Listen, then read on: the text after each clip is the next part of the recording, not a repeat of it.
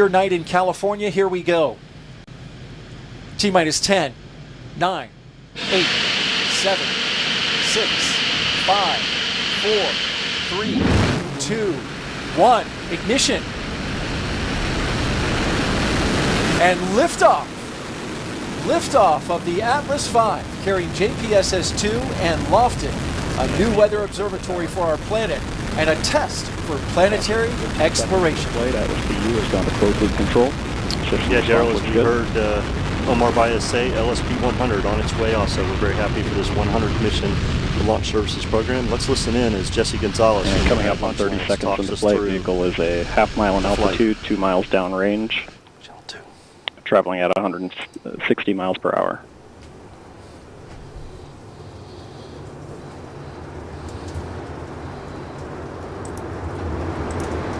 And passing 45 seconds of the flight, continuing to see good operating parameters out of the RD-180.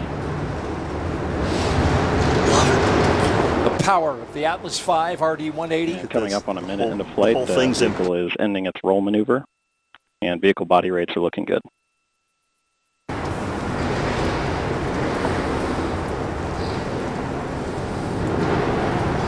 Getting ready and approaching Mach 1.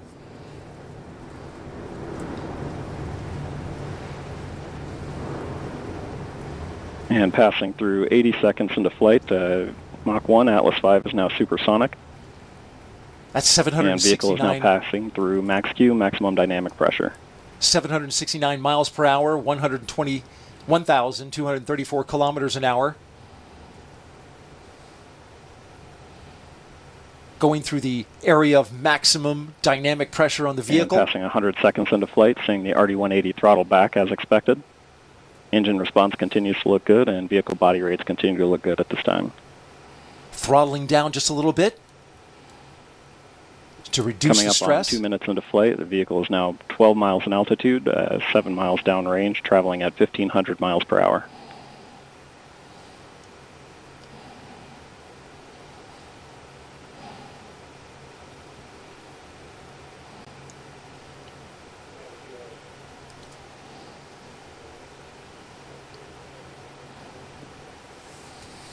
And passing 140 seconds into flight, the vehicle has gone to closed loop control, uh, continuing to see stable body rates throughout the boost phase. So the rocket was flying in a trajectory that's programmed in, but now closed loop is taking positional feedback from the rocket sensors to get it into the proper line for trajectory. It's going to maintain that ascent line. Beautiful shot there on board. And RCS is now pressurizing to flight levels. a shot from our infrared camera.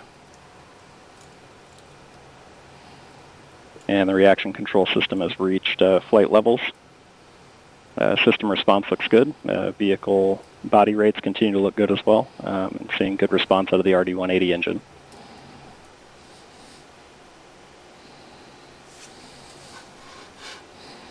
Going to start cooling down that Centaur engine in the second stage to prepare for its super chilled propellants to flow through the booster. About uh, 3 minutes and 15 seconds into flight, vehicle is now 53 miles in altitude, uh, 67 miles downrange, traveling at 5,800 miles per hour.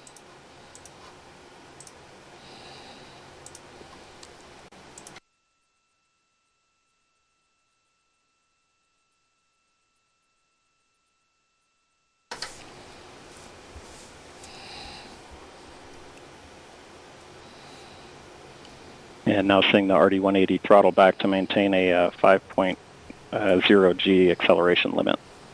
Engine response continues to look good. We're just seconds away now from booster engine cutoff. And we did see a good response on the Centaur systems as it completed boost phase drill down. And we have BECO, booster engine cutoff. And we have successful stage separation. With stage separation And now onto the pre-start Centaur. on the RL-10. And we have ignition for the first burn. Uh, RL-10 start parameters look good. And we have good indication of payload fairing jettison. Saw a shot of that booster floating off into space. Yeah, you can actually see the four meter fairing going by there too on the video. Uh, that's a great thing. Looking at the telemetry data, RD-180 performed very well on the first stage. Separation was clean. Payload fairings, you can see on the infrared uh, video there on the screen, uh, the booster falling away and the fairing, two little fairings. Uh, start, pre-start. Coming up uh, on five minutes into flight, uh, this first burn will be about 13 minutes in duration, the first of uh, three burns for today's mission.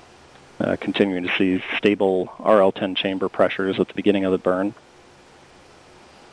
and also seeing uh, stable body rates following uh, payload fairing jettison. RL10 is performing very well. Pre-start was good. Uh, ignition came out very well as we saw in the video, and as the Centaur continues to burn nominally, uh, body rates on the vehicle look very good uh, with payload fairing gone. Uh, JPSS-2 exposed to the environments of space. system As it uh, warms the motor catalyst beds for operation. Ex- explain quickly what a body rate is.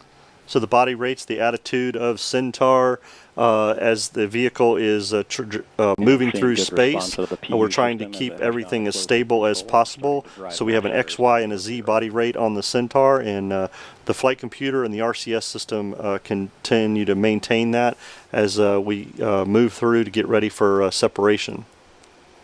And now we're moving to ULA's real-time Passing Six animation. minutes in flight, the vehicle is now 250 miles in altitude, 430 miles downrange, traveling at 9,400 miles per hour. The animation is informed by real-time data.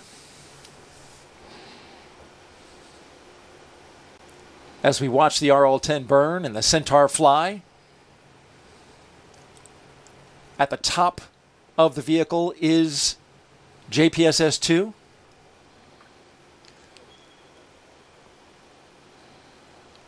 And there you're looking at the RL tur- RL-10 as it continues its burn. And coming up on seven minutes into flight, uh, continuing to see stable performance across all Centaur systems, uh, stable tank pressures, good performance out of PU, and um, some minor uh, roll adjustments as uh, Centaur optimizes the telemetry link. Centaur with plenty of performance to get there. Plenty of performance and everything's looking great. As we heard uh, Jesse say, everything is uh, performing nominally as we get ready to uh, continue this burn for separation. We're going to keep watching the data and listening to the launch team as we track the performance of the Centaur getting JPSS 2 into orbit. But in the meantime, let's send it back to Megan. If you're just joining us, I'm NASA's Megan Cruz, bringing you live launch coverage from Vandenberg Space Force Base along the central coast of California. Just about 7 minutes 34 seconds ago, we watched as a, a United Atlas, uh, United Launch Alliance Atlas V rocket lifted off at 1:49 a.m. Pacific time, and it was a spectacular sight. What a clear night! Uh, no clouds in sight. That rocket just lit up the dark sky. It's flying two important missions today. The primary one is to send JPSS-2 into orbit. It's the National Oceanic and Atmospheric Administration's newest joint polar weather satellite. The secondary mission is called LOFTID, which will demonstrate a new type of heat shield that inflates for atmospheric reentry. We're going to stay with you live for every important mis- mission over the next two hours.